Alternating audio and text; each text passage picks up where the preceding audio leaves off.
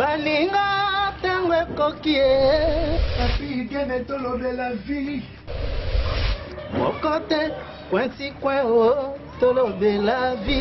awa balobi nini papigene tolobela vi veut dire tolobela vi tolobela vi Mbote bana kini ya propre bana Congo bato oyo nyonso bokolanda biso encore une fois oyo ezali tolobela vie tozolobaka chaque fois que mosala na biso ezali toyaka devant bino mpo tomekaka kosolola soki likambo ezali il faut tozala wana alors je crois makambo toni tosolola lelo eza makambo oyo etali discours toujours ya joseph kabila joseph kabila aza militaire nazoyambela bino commandant mathieu euh, tolobela vie ya lelo le 21 juillet naza koyambela bino commandant mathieu tomekana kosolola moke na commandant mathieu parce que vous savez makambo oyo joseph kabila alobi eboti mwa bapolémike mwa ebele alors commandant mathieu lokola aza militaire tozoyambela bino commandant mathieu alors commandant mathieu Voilà, commandant Mathieu Boni.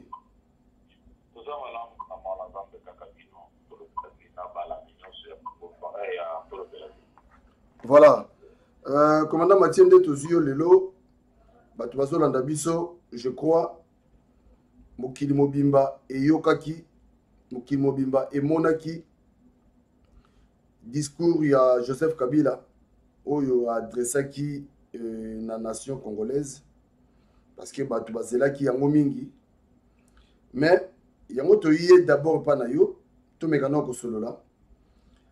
discours oyo joseph kabila oyo yo omonaki yango deja ndenge nini donc cestadire point de vue na yo vraiment na discours ya joseph kabila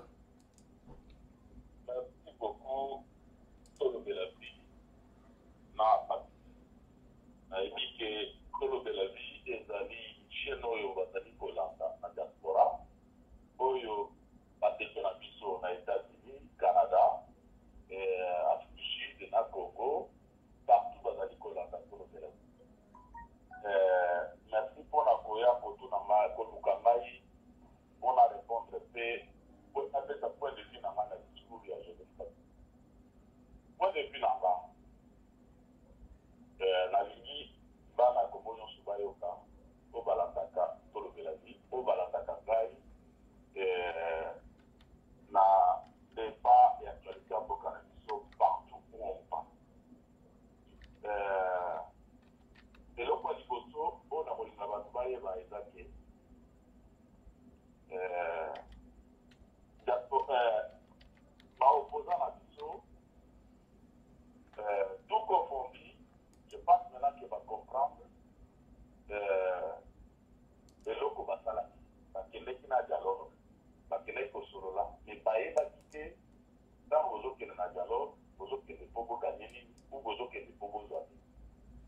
Bakende na dialogue neti batu bakenda na dialogue, ba dialogue esuki batikeli Kabila ba leve ye ba pouvoir. Alors toyebi biso nyonso ke ntango ozotikela mutu mbeli mutu aliboma mbeli na maboko akoki kotuba bato bakoboma nango bato cetadire joseph kabila euh,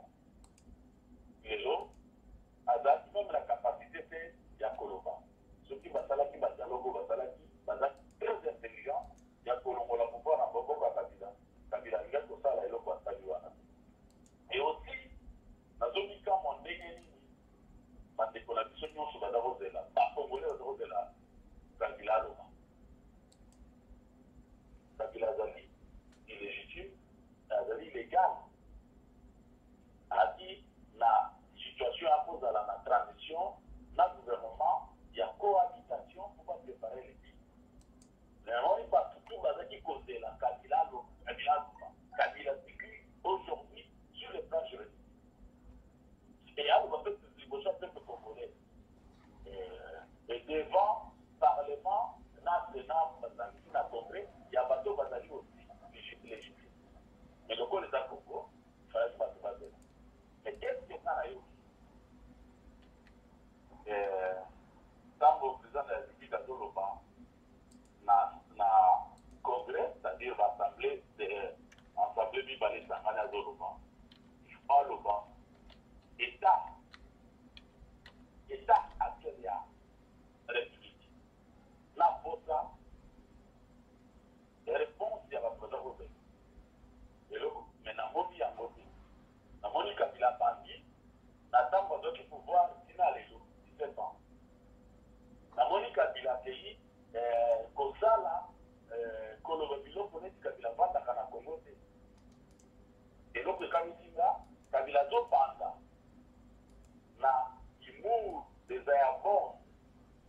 ya kopola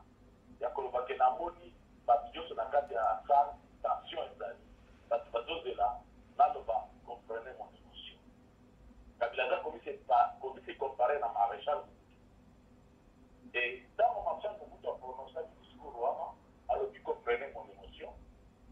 marchal mobutu ayokaki peuple congolais ayokaki posa peuple congolais ayokaki posa classe politique congolais Ngai koloba comprenez mon emotion et tango president Marcel Mobutu azwaki pouvoir et azwaki pouvoir dans quelle condition et qu'est ce qu'il a fait de pouvoir à cette periode là ti na tango azali kokoma na niveau ya koloba comprenez mon emotion azalaki ko repondre na peuple na makambo peuple eyokaka elobaki na makambo ayokaki il falaki azwa decision ya bobangi Election oyo ezalaki makasi po na vie na ye politique, po na vie na ye politique balobi comprenez mon emotion kabila aza komi se comparer na wana nayoki kabila na discours na ye alobeli makambo ya salaire alobeli makambo ya securite alobeli makambo ya contrat signer alobeli makambo ya ecole alobeli makambo ya euh, same chantier alobeli makambo ya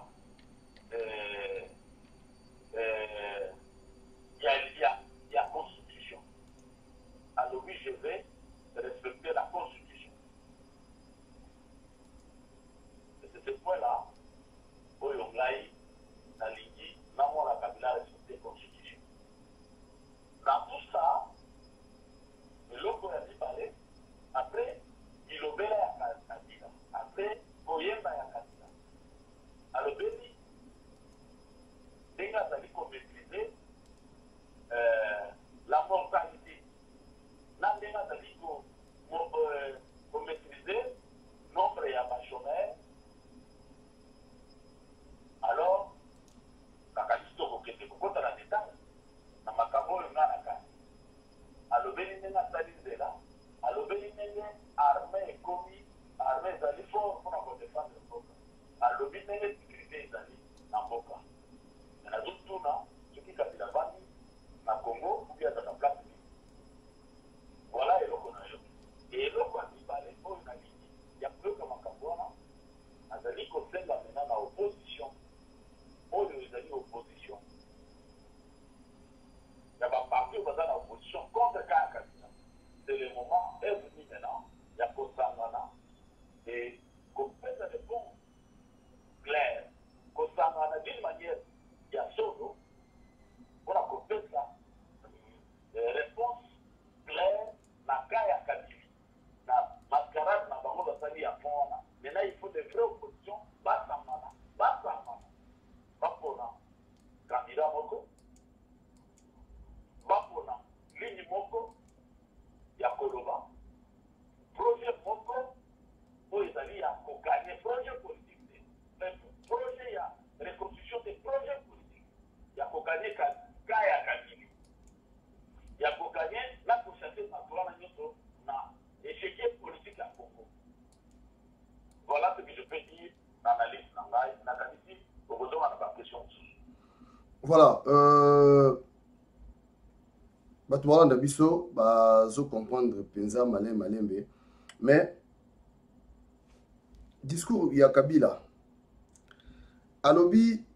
alobeli sur euh, sur basalaire alobeli sur bafonctionnaire alobeli sur la maîtrise de la mortalité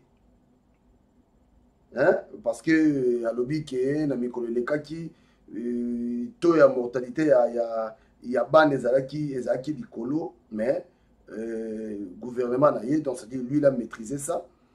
alors nakomona makambo oyo nyonso kabila alobi parce que azongi mpena mwa nsima abeti sete na 17 ans na ye oyo asali bilan na ye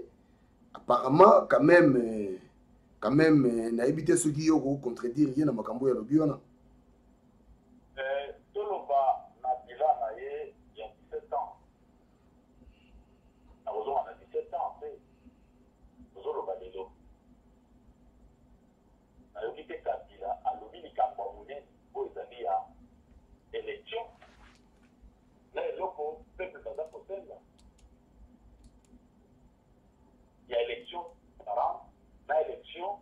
sans euh, euh, machine à vote et aussi euh, election apaisée kabila alobeli makambo ya mortalité nayokaki atangaki chiffre ekitaki ezalaki soki na 100 1000 so combien tokomaki soki na 800 euh, morts des choses comme ça ya bana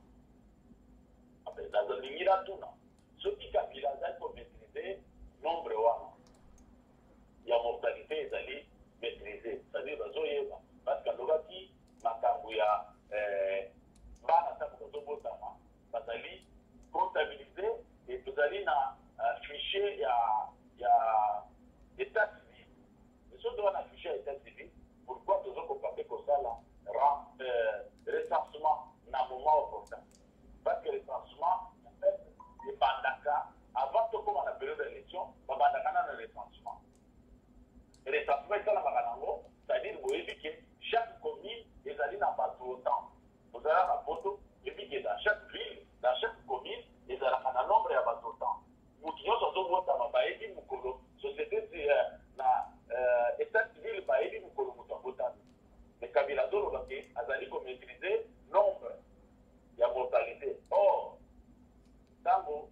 eh, basalaki fausse commune na, na maluku menda alobaki ke bato oyo bakundaki na fausse commune ezalaki le fotus euh, fotus abandonné menda ministre ya ye ya communication porte parole ya gouvernement ntango batakaki gouvernement ya kabila sur le Fosse commune nette alobaki que bato oyo bakundaki kuna ezalaki ba foetus abandonne oyo eyebanaki ba maman na bango te bakendeki ko kobuaka yango mais kabila azongisa biso lelo que bazali ko maitriser la mortalite ya foetus ayebi na nombre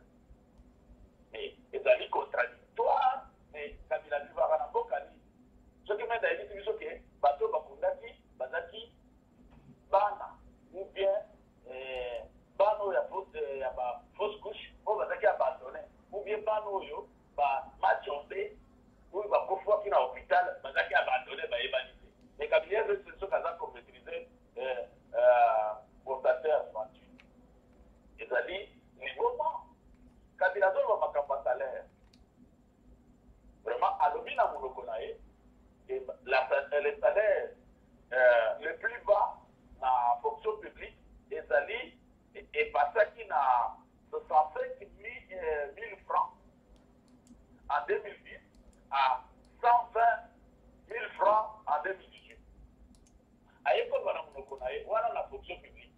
Aye koloba na monoko na ye ke na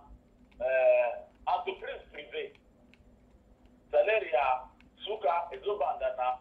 300 dollars eh, jusqu'à 5000 dollars. Comment dans un pays tokoki kozala na forme ya eh, ya salaire mibale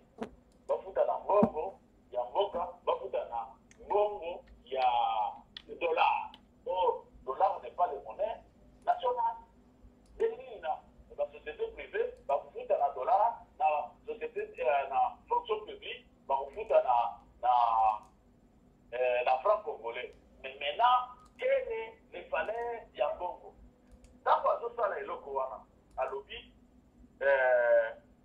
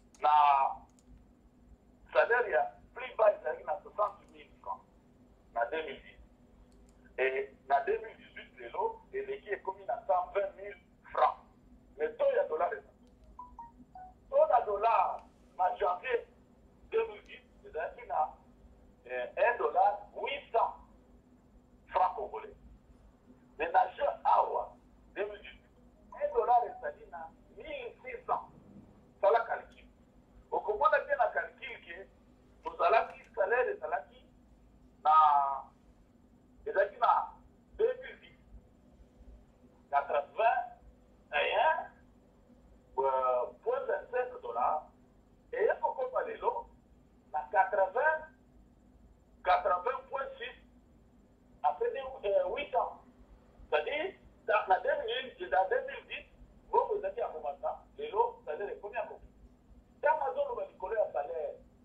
ya ba ya ba fonctionnaires, nazo exemple moko ya ba soda. Na 99 na 2000 jusqu'à 2001 soda nyonso ya Congo salaire na ezaki 100 dollars. Soda nyonso kolongola ba prime ya ba grade na biloko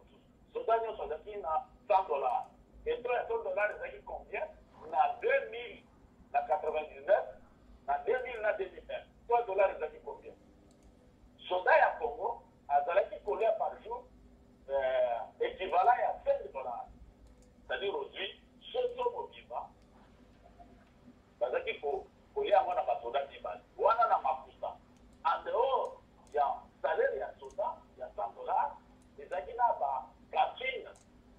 na chaque unite. Ba soda bazalaki kolia na tongo bameli ti soda aza na lipa mobimba ye moko azali komela ti ya ya mimi na tongo na 98 demi na 2001 depuis 98 soda azalaki naza koyebisa bino soda azalaki na salaire soda nyonso ya Congo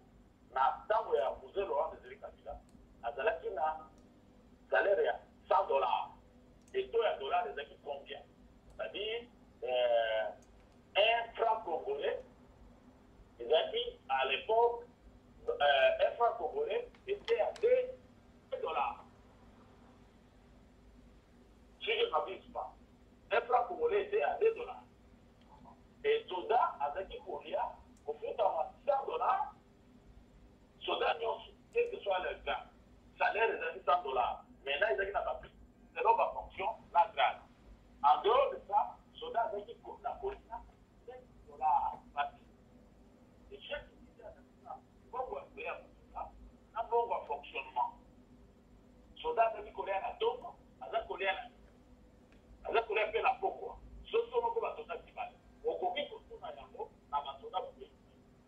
Tii na 2019 depuis 1999 ti lelo soda salaire ya soda eza na 100 dollars ti lelo salaire ya congo ya Kinshasa ezali 100 dollars ya ba soda et taux ya dollars eza combien lelo tozo loba taux ya dollars eza combien taux ya dollars lelo na kasi juillet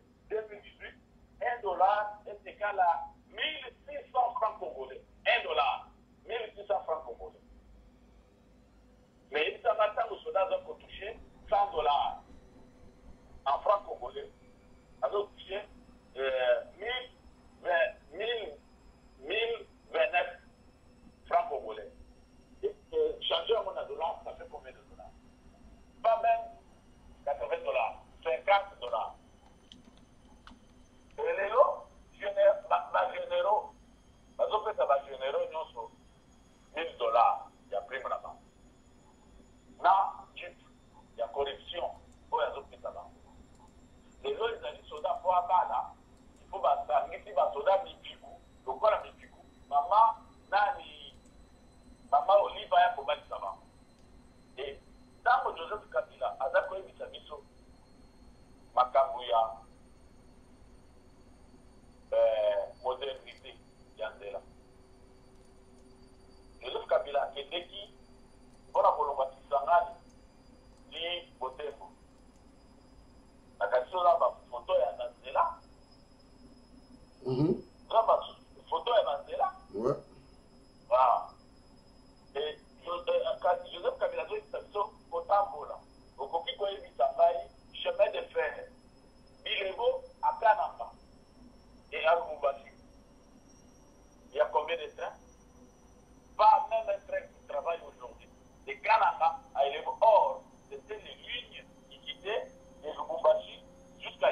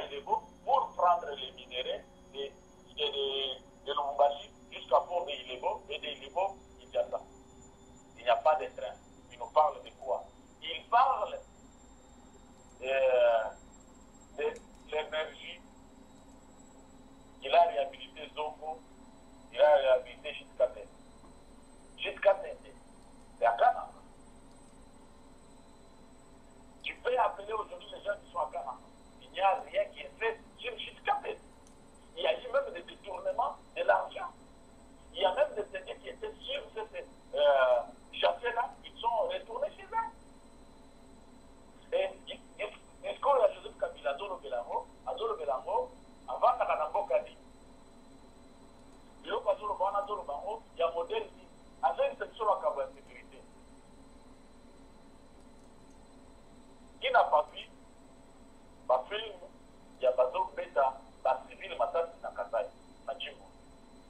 ti na pavita bokoki kotuna lelo batu baza na kinshasa soki mutu akozua mutuka na kinshasa po akende na dikapu wana tozo kaka kinshasa liboso batu baza kozua mituka na ngaba bazui na kingasani bokeyi ti kikwiti kikwiti ti kinshasa yebisa nga lelo soki mituka ekenda na kinshasa Yebisa nga soki mituka ekendaka na libaya longwe soki ba commerçant bakendaka lisusu libaya longwe kosumba biloko kozonga na mituka soki batu balongaka na mituka na Kinshasa ekende tshikapa jeune journaliste appelle les gens qui sont à kananga et qui sont à Kinshasa qui a qui faisait des transports de Kinshasa à à tshikapa et tu me tu, tu, tu, tu, tu demanderas s'il y a aujourd'hui Mais je qui quittais Kananga pour aller acheter les bitoyi de Ndakala, Academie et à Moba. S'il le faut encore. Mais Joseph Kabila, il vit où Oui. Azozisa biso makambo ya école. École nini Joseph Kabila atongi, gouvernement na etongi, na 17 ans asali. Acte de la volonté. Terrain ya accident de la Gombe oyo ezali terrain ya euh, ya ecole ezali meme na ministère ya enseignement ezali euh, lelo ekomi salle ya sport na salle mapangu ya bandeko na ye ya ya ya sowe kabila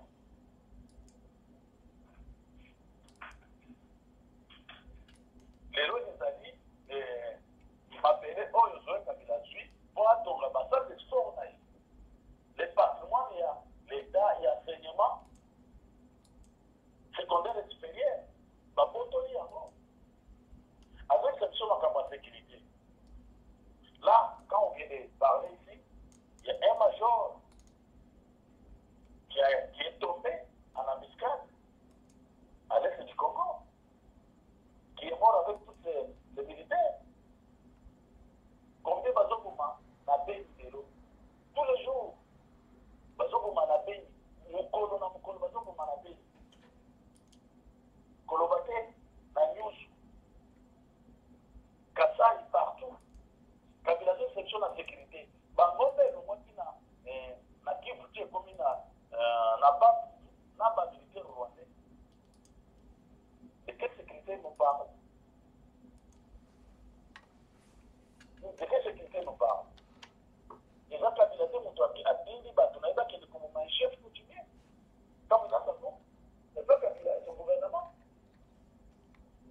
nalobi ya monsieur mathieu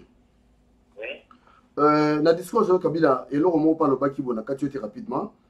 alobi congo ezongi na concert des nations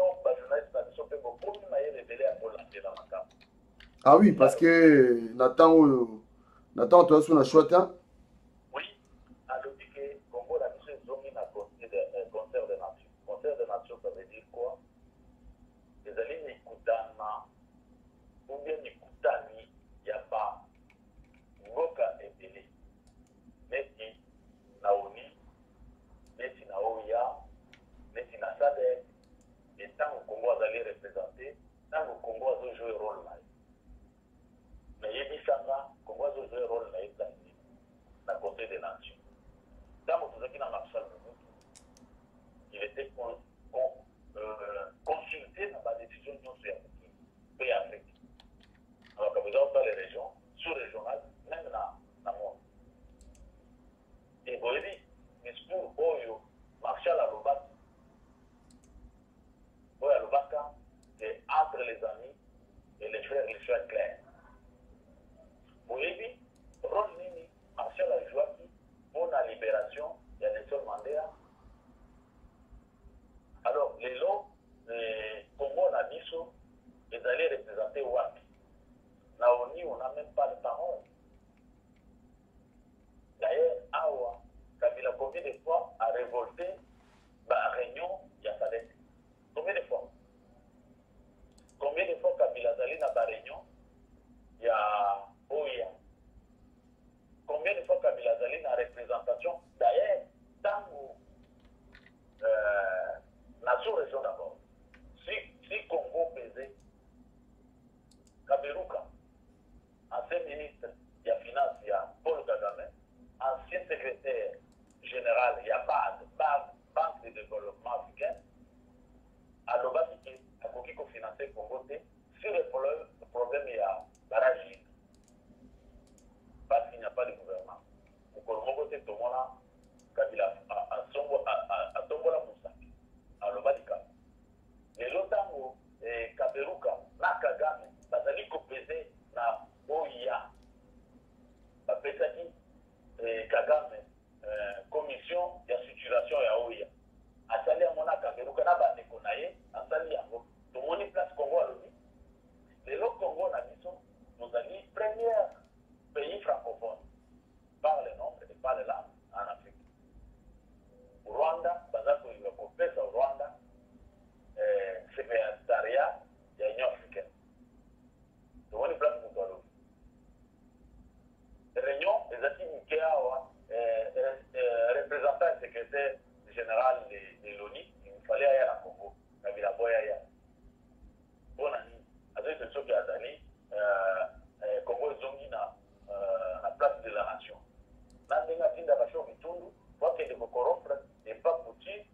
na ba minerais azo mema ba minerais c'est ça Congo n'a pas retrouvé sa place où il était à l'époque de Marshall Congo n'est pas retrouvé sa place là où il était à l'époque d'Isaïe est-ce que bomoni d'abord bomoni eh, Léopard na, na Coupe du Monde bomoni Léopard na Coupe du Monde alors quand il dit ça il dit à qui bino bajournaliste kozala na poto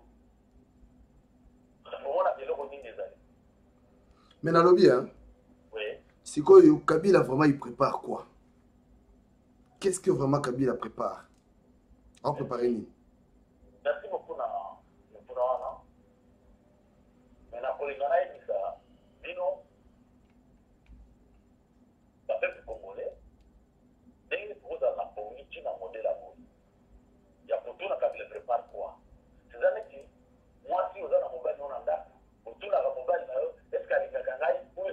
yo soki oza na mobali na ndaku ou bien oza na mwasi oyebi ndenge nini ozalaka na mwasi na yo ou ndenge nini ozalaka na mobali na yo okozala komituna te est ce que alingaka nga ou alingaka nga te ça veut dire oza sur te na eloko oza na peuple congolais congo eza ya biso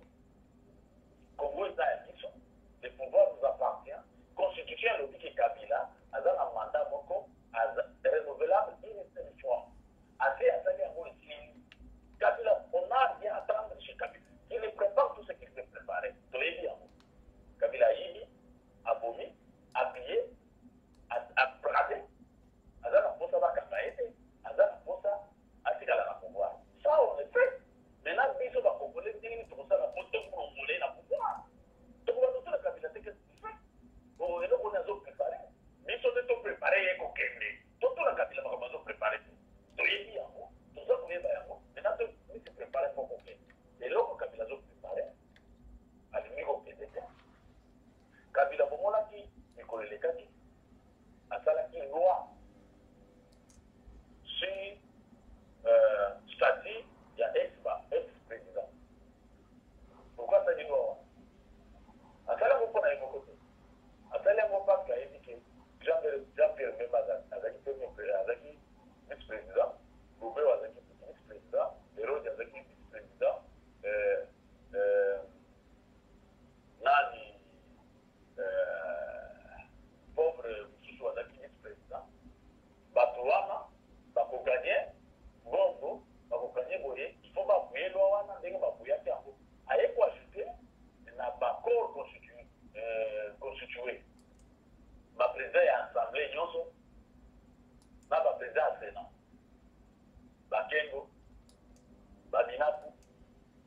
ba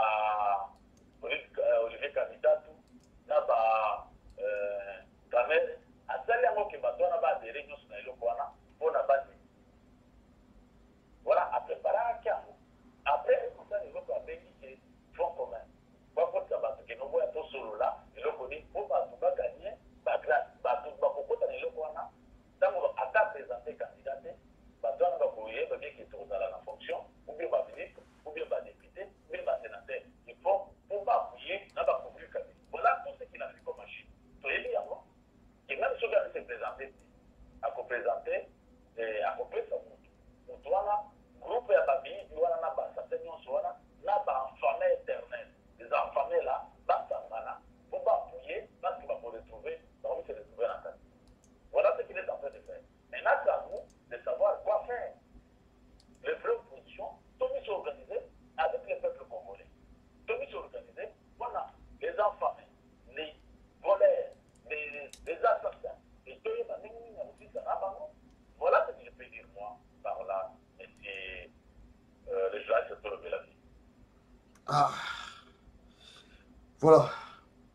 mais euh, toujours na discours alobeli makambo armée nayebi te armée na biso parce que yo oza militaire armée na biso est ce que vraiment eza makasi to armée oyo oyo bino bozalaka na armée oyo ya lelo nayebi te différence eza na kati to ndenge nini Baby euh tango tolobelaka makambo ya Armin nalingi lisusu na interpeller peuple congolais na ba hommes politiques congolais. Armin ezali institution oyo ezali neti ba institutions nionso te. Armin ezali institution ya stabilite et de stabilisation. Ezali ya stabilite ntango ezali kokamba malamu, kokambama malamu, ekoki ko neutraliser ba politiciens oyo bazobunda neti na ntango ya Mobutu. Mais ezali mpe outil de destabilisation soki bato wana bazokosana. Ba militaires na biso oyo bazalaki former en tout deuxième republique, ce sont des militaires informes. Les cadres bien formes et les militaires des vrais citoyens oyo bazalaki engager, oyo bazalaki ko prester serment na bango ya fidelite au peuple. Tous les militaires congolais, les Zaïrois à l'epoque, ont preste serment fidelite au peuple. Mais lelo tomoni baye formaliser bango pona ko prester serment mais a les gens ya kabila fidelite au president de la republique non on ne peut pas etre fidele au president de la republique on est fidele aux institutions les institutions qui sont des lois et qui respectent les lois mais lelo problème ezali bato na biso na peuple na biso bazali kofinga arme arme efonctionnaka Na loi, loi oyo ezali fort, oyo ezali applicable parce que armee na biso ezali lie na loi, ezali lie na mibeko, ezali kotosa mibeko. Aujourd'hui mibeko eza te. Toza na ba homme politique te oyo bazo sala loi pona ko faire fonctionner armee. Armee ezali abandonne. Armee oyo ya biso ezali abandonne et si lelo eza abandonne,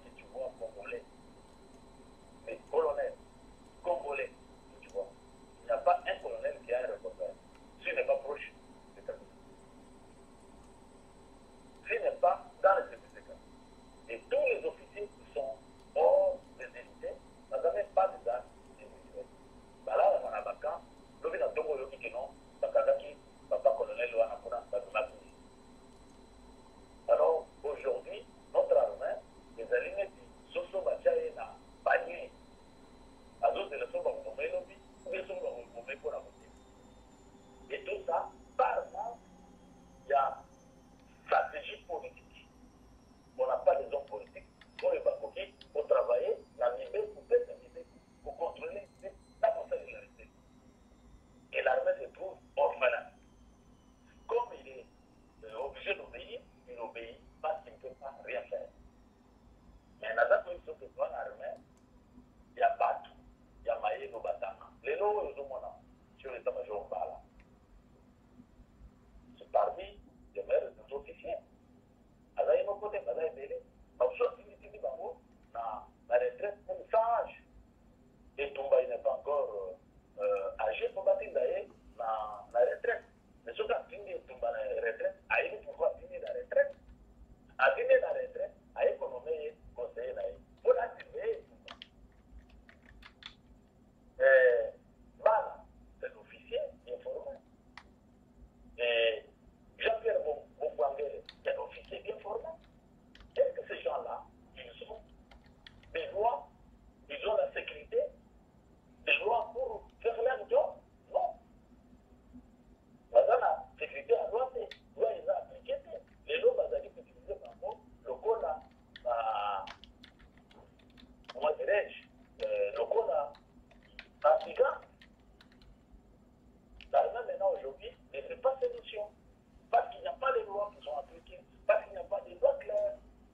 mais sikoyo nalobi ya eh, dans tout ça bato ba retenir nini na discours ya joseph kabila wana mpo tosilisa et puis solution eza nini oyo tokoki kosala voilà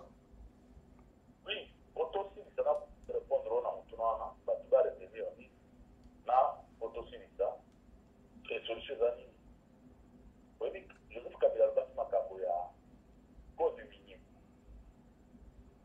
Nalingi na rappeler yango. Alobaki makambo ya code minier esalamaki na boye. Ce n'est pas Matata Mponyo oyo alobaki que bateki mine sans que le gouvernement ayeba yango. Ayeba prix bateki mine. Yebisa ngai soki Kabila code minier ezalaki, soki makambo ezalaki, ndenge nini bateki mine sans que le gouvernement sache? Comment on a Vendu le mine et à quel prix qu'on a vendu C'est le gouvernement ya Kabila, c'est Kabila moto azaki en place. Ndenge nini Kabila na Katumbi baza ko partager mbongo ya mine bayebaki yango. Et Joseph Kabila azokisa biso il faut Congo ekoma leadership na question ya écologique.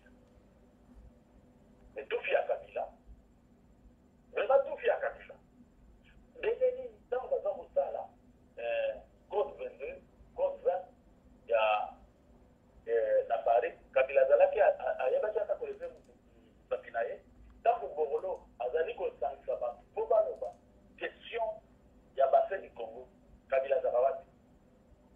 alotaka kabila alalaka amelaka ntango Azalaka na place nini? Bon, tout ça pour te dire que Kabila azo lota. Azo exception makambo ya ecole. Azo loba que soki batu baza soki pasi ya na Congo parce que ba Congolais ba bota ke bele. Mais Kabila azali sur le même chemin na ba mindelo balingi koboma ba noirs. Parce que azo loba que na 2050 l'Europe sera peuplée par les noirs. Ekabila epa na biso na Congo na mabele na biso azo epelisa oke ba congolais bazo bota ebele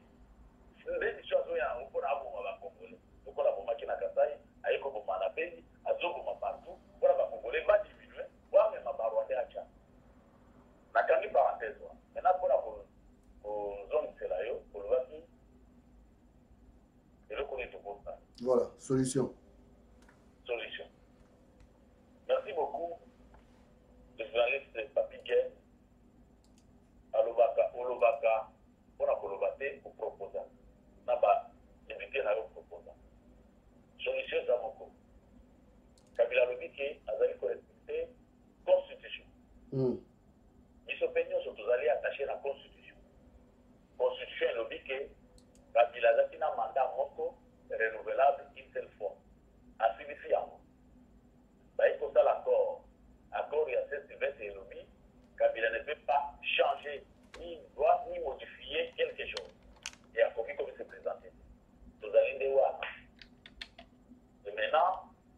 place wana nde nabengi na peuple congolais nyonso, diaspora, les intellectuels, la société civile, l'opposition. Totelema na likambo wana ya respect ya constitution et non changement ya quelque chose. Et pona election tozali kosenga likambo ya election transparent, credible, sans machine à vote, sans candidature ya Kabila.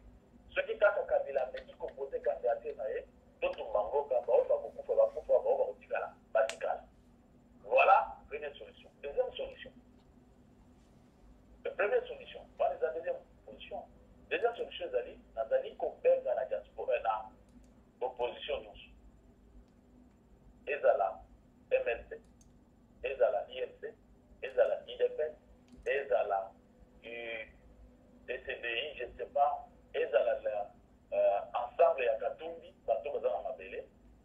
Bosangana bopona candidat moko. Candidat moko oyo ako faire porter la voix ya opposition et oyo akozala candidat ya ko porter euh, cause ya opposition contre camp ya Kabila. Et à partir ya wana soki election ekosalama et tozala na candidat wana Soki election ekosalama te, tozala na opposition wana solide na liloba moko. Bino nyonso bovandaka, bosololaka, mais bopesi maloba, bosali nyonso, bopesi motu oyo akoloba na kombo ya opposition, oyo akozala candidat unique. Bosi bodepose ba candidature na bino ya deputation. C'est normal. Mais maintenant bokosala mosala d'ensemble, comment tokosala un projet commun ya election presidentielle. Voilà ce que je demande. Nakosenga na Diaspora congolais tosangana biso nionso na baye bazali koloba transition sans Kabila ou bazoloba dictateur Museveni mais là tosangana na baye bazoloba dictateur ya Museveni ou bazoloba transition sans Kabila na eh, eh, société civile ko eh, comité laïque tosangana tosala pression na opposition politique bapona candidat moko na candidat wana to elargir l'espace ya concertation na kosolola entre les, les opposants na diaspora na société civile oyo toyebi me na claire na baintellectuel bazali nzinganzinga tosangana mpo na koprepare ce qui nous reste maintenant soki kabila ami se présente c'est ensemble avec notre peuple oyo tokotelema lokola motu moko mpo na kosisana na kabila voilà la solution oyo nga nazali koprésente Voilà, donc euh, merci, merci euh, papa na biso Mathieu Ilunga. Euh, merci. Tokomi na suka pour l'intervention na biso, je crois boyoki tolobaki à chaque fois. Tokobanda kozala boye, tokobanda koyamba ndeko na biso Mathieu na lolenge oyo parce que boyebi ke makambo eza mwa ebele. Alors mikolo vraiment bozala toujours na biso, bozala connecter na tolobela vie lelo toza le 21 juillet je crois ti pokwa lisusu ya lelo tokoyambela bino encore uh, commandant mathieu parce que makambo ezali il faut à chaque fois toloba mpo na mboka na biso baoyo bakufi bakei biso tolobela bango Voilà, donc d'ici là, portez-vous bien et restez connectés vraiment na tolo de la vie. nde nalobaki bosabonaka kaka massivement parce que makambo kosala eza ebele en tout cas merci beaucoup monsieur mathieu merci